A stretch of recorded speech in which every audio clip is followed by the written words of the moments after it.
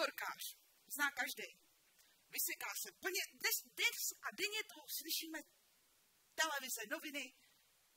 No jo, co se s ním potom stane, že jo? Tak naloží ho ta rychlá, dovezou ho do nemocnice. Dobrý.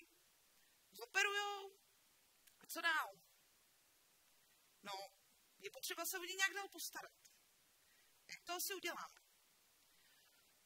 Má trubku v krku, miliony hadiček, miliony všeho možného. Přijede na jednotku intenzivní péče. No, co tam s ním?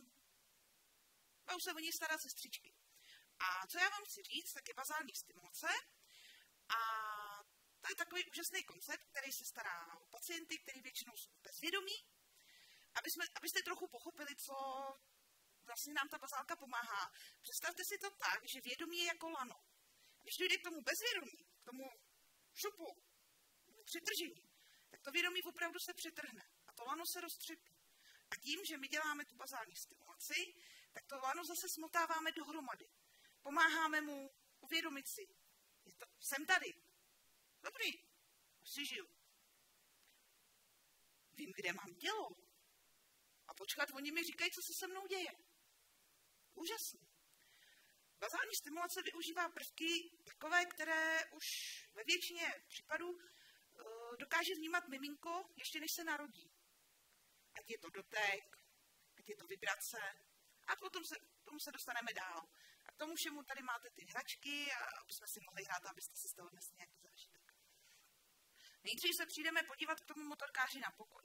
Jedna varianta je, že přijdete, vidíte ty tu velkou bílou místnost a teď vidíte ventilátor, monitor, dávkovače, infuzní pumpy, všude ty sety. No jo, ale počkat, tady asi něco chybí. Chybí vám tam něco? Někdo? Chybí nám tam pacient. No jo, teď najednou zjišťujete, že tady někde v tom, v tom rožku je tam zahrabaný v té bílé peřině pacient. Stávají se i horší věci. A zkusíme to trochu jinak. Zkusíme přijít do osvícené nemocnice, kde leží František a kde se používá koncept bazální stimulace. První, čeho si všimneme, když přijdeme na ten pokoj, tak on je vymalovaný. Je to jemná pastelová barva. Příjemný. Nemusí to být to je jedno, jaká je to barva. Na tom nesejde. A první, čeho si všimnete, tak jsou fotky tamhle babička, dědeček, dcera, syn, manželka, dovolená. Co to je? Tak se otáčíte a najednou František. František má svoje oblíbené tričko, má povlečení s Nightwishema a když se ještě o kousek otočíte, tak zjistíte, že na druhé straně ne, aby koukali na sesternu a na takovýto ošklivý nemocniční zázemí, ale tam je vlajka fotbalového klubu, třeba Liverpoolu. No jo, kde to jsme? To ani není nemocnice. A není tam ani pípání. Najednou už slyšíte takovou tu příjemnou, neobtěžující hudbu. Kde byste chtěli ležet vy? Bílá a sterilní? Nebo barevná a vyzdobená podle vás? Představte si to. A když jsme si představili tohle, tak František takhle leží a vzhledem k tomu, že leží dlouho, tak ztrácí pojem o tom, kde má tělo. Zkuste si to večer doma. Lehněte si na 30 minut a nehybejte se. Po těch 30 minutách si zkuste uvědomit, kde máte ruce, kde máte nohy. Nejde to, protože už za těch 30 minut lidský mozek ztratí ten pojem o tom, kde jsou ty ruce a nohy. A vzhledem k tomu, že bazální stimulace chce, aby si ten pacient uvědomoval, kde to tělo je, tak používá takový úžasný kuličkový krásky. Já tady jednu mám a každý z vás tady v předních řadách má takový krásný pytlíček. To je semínko kuličkový krásky. Každý, kdo budete chtít, můžete si napsat třeba Ježíškovi o kuličkovou krásku. Tahle ta kuličková kráska, ona se jemně pohybuje a tomu pacientovi pořád při sebe menším dotyku ukazuje, kde to tělo má. Teď stejně asi šustíte nevnímáte, mě nevadí. Stávají se i horší věci. Když tak si to najdete někde na netu, že? Internet dneska věc rozšířená. No a budeme pokračovat. Tak dostali jste, že? Teď jste mi zašustili jedním pytlikem, tak aby jsme pokračovali, tak si rozbalte ten druhý. jsou tam dvě věci. Je tam bonbon a je tam takový čtvereček. Každý ví, že v nemocnici voní dezinfekce, nebo promiň tím smrdí. Málo komu ta dezinfekce voní. A teď to prostě cítíte, jak to Teď si roztrhněte tu dezinfekci a vemte si ten bonbon. Co byste cítili radši vy? Vyberte si. Budete radši cítit ten univerzální nemocniční puch?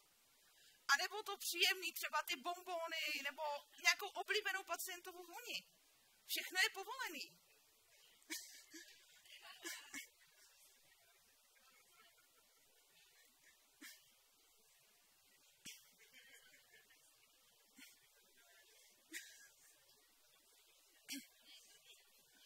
Mediků v prvních řadách se to týkat nebude, samozřejmě, to je mi jasné. Tak budeme pokračovat. Bombony už si teď můžete sníst, teď už vám to nikdo zakazovat nebude. A ještě než si tady dohrajem, tak zkuste si zavřít oči a budeme se dotýkat. Já vám všechno řeknu, vy si prosím zavřete oči a budeme se dotýkat každý sám sebe, než se budete očávat na zájem. Tak. Vemte svoji pravou ruku a položte ji na levou. Tak a budeme se hladit. Nejdřív proti směru růstu chloupků.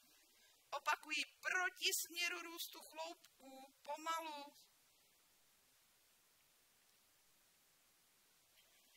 Jaký to ve vás vyvolává pocity? Pokud je tenhle ten dotyk, pokud je tenhle ten uh, dotek vyvolaný správně, tak by vás měl nabudit. Používá se to, když chceme pacienta prostě probrat a chceme, aby se námi strašně rehabilitoval a byl akční. A ještě nechte zavřený oči. Teď to zkusíme trošku jinak. Zase vemte tu pravou ruku, položte ji a teď to zkuste po směru. Jaký je to teď? A jak jiný? Souhlas. Oči otevřít, k tomu to poslední, co bych vám ráda předala za ten dojem, tak je zvuk. Co budete poslouchat radši? Ale monoton. Píp, píp, píp, píp, píp, píp, píp. A nebo hudbu. Já vám tady zpívat nebudu, to byste nej, nejspíš všichni utekli, ale zkuste si to jenom tak orientačně představit. No a na pozit, nakonec, abyste věděli, proč vám tady všechno vykládám. Roli Františka nemusí být jenom pacient v intenzivní péči. Dotýkat se můžete nemocné babičky, můžete jim vyzdobovat všechny pokoje, to, co je jim blízké, jim prostě nabídnout. Dělejme pacientům a dělejme lidem to, co je jim příjemné. Pojďme poselství.